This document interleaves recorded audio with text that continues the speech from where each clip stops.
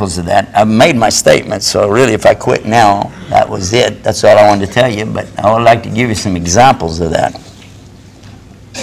One example is when I hear people, I'm going to show you something, how is the reverse of everything. This is just like, almost like turning a subject upside down and looking at it again.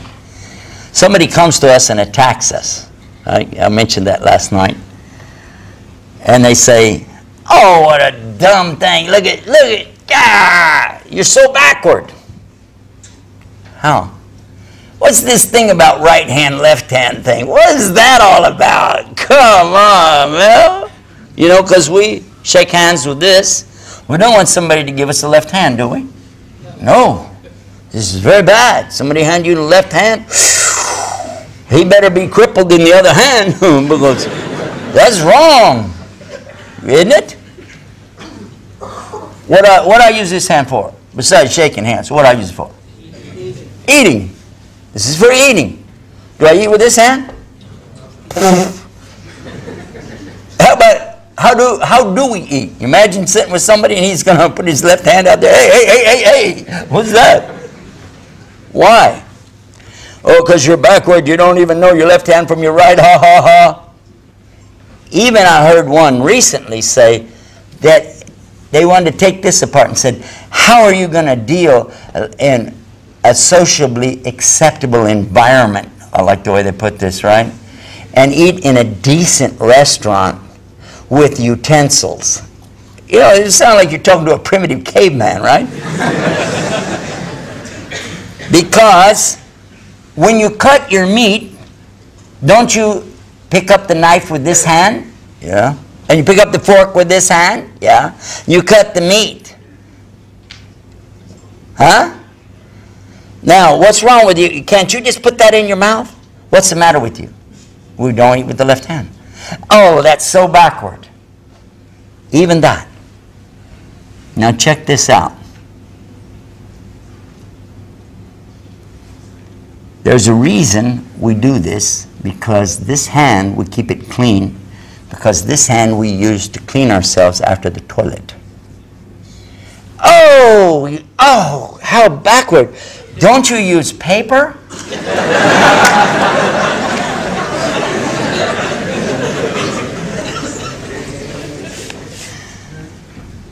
United States Navy did a study. They had, is a pretty cool way to do it too, because in the Navy you got people out on a boat, they can't get in touch with other people out there. And what they did, they had people washing their hands before and after their meals. On another ship, they ran the same test and had these guys not wash their hands before and after the meals to see what would happen totally and completely, no doubt about it, the ones washing hands before and after had the least amount of sicknesses being passed around. Of course, we know that real well nowadays because of what's happened with the studies that they've done and how many times people are getting this hepatitis. It's called hepatitis B, I think, that they're getting from the, these fast food places where they go in and the, the guy works there and he goes to the bathroom and come back. He doesn't wash his hands. Next thing you know, there's an outbreak of this all over the whole city. Everybody that ate there got it. So now they have these signs up there, you know, all employees must wash hands, things like that. Another time, a woman who worked for a insurance company, independent study, went out to a big corporation. They had so many employees taking off time, being sick, being ill, and so they asked her to come in and do a study she went on every floor of the building and all their sub-buildings, everything around there, and, and did uh, tests, laboratory tests. And they would put this material, I saw the video on it, and she was putting this stuff, I don't know, it's like a dust or powder or something, on the telephones, on the keyboards, on this kind of thing, and then she would come back and collect it all up later, and they did studies, and they found fecal matter on the telephones and on the keyboards and on the fax machines and all the rest of it, along with other germs as well. Because people weren't taking care to wash themselves after going to the toilet. So again, they are insisting employees wash hands, and it makes a huge difference. You wouldn't believe there was going to be such a difference over that. Now, how does this work into the left hand, right hand thing? How does that come in? Well, I got to stay on this subject a little bit more to get to it for you. If you want to talk about the toilet paper thing, okay, now I'm going to ask you. And I, as a, now, you guys, most of you don't have a dog, but in the West, everybody's got a dog. You know?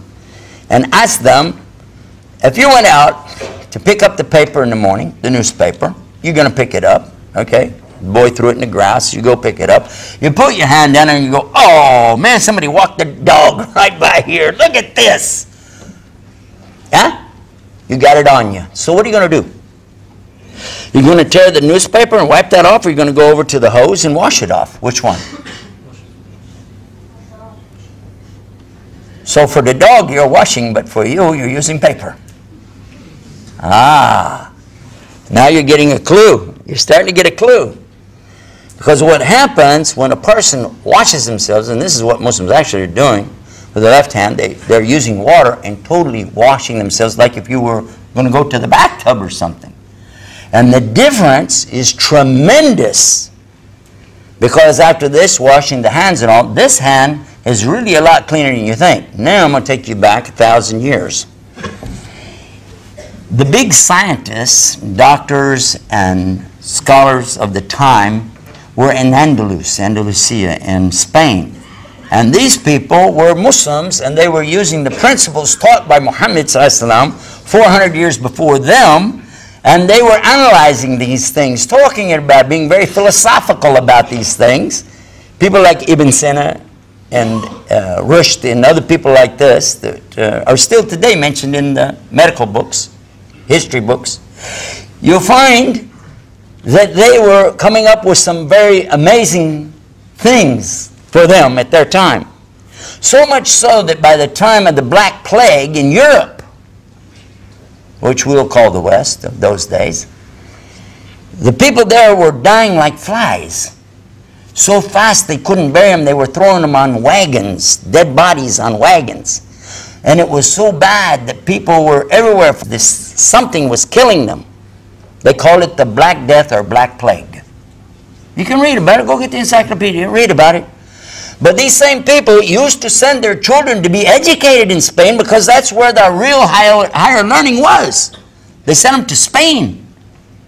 But they found something amazing, even though some of the students came down with these diseases. It was only the students that came from Europe, but none of the locals got it. Why? And they came to know that it was because of this, this cleaning this hand and only eating with this hand. And this hand only for anything dirty and still washing it anyway. The difference was that they were able to go back and solve the problem in Europe, and that was the end of the Black Plague after they understood it. By the way, you won't find that in the common history books anymore today. There's no reason to mention that, is it? Especially because it has a connection to Islam. I'm going to share you with another one with you. Think about this. I was coming home one night from a program. It was very late at night, driving, back when my wife would let me drive. And I put my head down on the steering wheel at a red light, and I was so tired I couldn't lift my head back up. My little daughter was with me, and she's saying, Daddy, wake up, Daddy, wake up. I said, I can't. I'm exhausted. I'm going to pull over and stop. And she reached over and turned the radio on real loud. And I like to listen to talk shows, yeah? And the first thing come out, it was the beginning of the sentence. A man's voice said, always sit down when you eat or drink. I went, huh? Said, never stand up when you eat or drink. I'm going, Jamaat Tabligh is in town? what is this? What's this guy talking about? You know, in Jamaat Tabligh, they always tell you that, don't they? Sit down when you eat or drink. This is Sunnah Rasul Sallallahu Alaihi Wasallam. You sit, you know, when you eat or drink. You don't stand up. And I'm thinking, what's this? He began explaining the damage that's caused starting at the neck and going all the way down. And he described all the kinds of problems from the hiatal hernia to the pulling and tearing here in this part in the stomach and all of the operations that could be avoided if people would just sit while they eat or drink. I mean, I was wide awake. I drove all the way home listening to that. But now you got a problem. Because now, if you realized what he said and understood all of the damage done to your body by standing up, so now you're going to sit down when you eat or drink. Are you doing it for Islam, for Allah, or are you doing it for your health? Makes sense? 1400 years ago, somebody giving you advice. You make fun of it until you find, oh, oh, it really works? Yeah, he was probably having a lucky guess. Huh?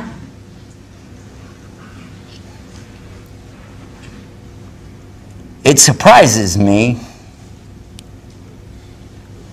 that the Muslims don't pick up on this faster.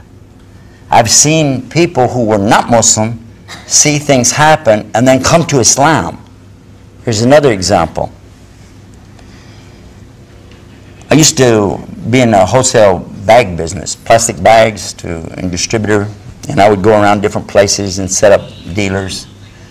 And I happened to be waiting for a person to get done with a customer in a store once. He had a vitamin store, health food store, things like that. And I'm just walking around looking, and what has he got going here? And he had some something there in the toothpaste department, health toothpaste of some kind. And the claim on this toothpaste thing says that it's the only substance on earth that can remove plaque and tartar from your teeth without damaging the enamel. It improves the gums and even cleans the tongue and all the way down into your stomach. And it mentioned the ingredient, some technical name that I still can't pronounce, but it said it comes from siwak. Huh? From what? Miswak. Yeah? And it showed a stick on there, and it was trimmed back. And I saw it. I said, that's a miswak stick. And I turned it over, Dr. Muhammad's toothpaste. $4.75 for this little, small, huh? And you still have to go buy a toothbrush. Or if you use the real miswak, instead of getting 1 or 2%, I think that's what it said was on there, you get 100% and use the toothstick that the Prophet ﷺ used. And I've heard people today say, oh, you know, that's so tacky. You carry a stick with you? Oh. oh. But when you see, and even today, you see any of the brothers who use it regularly, what do their teeth look like? Huh? Light bulbs. When they go, and you go, whoa, whoa, wow. Uh, am I right or wrong? It's amazing, isn't it? But now, oh, let's go back to the guy cutting his steak. Huh? Go back and read Emily Post. You know who's Emily Post? Hmm? Oh, yeah. Go back and check the people who tell you about proper manners. The proper manners is yes, you pick up the knife with the right hand, you pick up the fork with the left, you cut the steak, and then you lay the knife down, and you pick the fork up with the right, and you eat it with the right. So it always was the same anyway. Because this goes all the way back to Europe at a time when they were getting over that problem of the Black Plague. Hello? So often we're taking criticism from ignorant people and then adding more ignorance on top of it and rejecting what's really intelligence. I'm saying not only the West needs Islam, I'm saying Muslims need Islam. Yes or no? Yeah. We deviated far away, far away from the real Islam. It's not just in the eating and the health and taking care of our bodies, but it's also in the way we treat each other. And that's much worse. It's a more important aspect of Islam is treatment of others. Because after your correct relationship with your Lord, the very next important thing is your correct relationship with the people. And if it sucks, then what are you all about?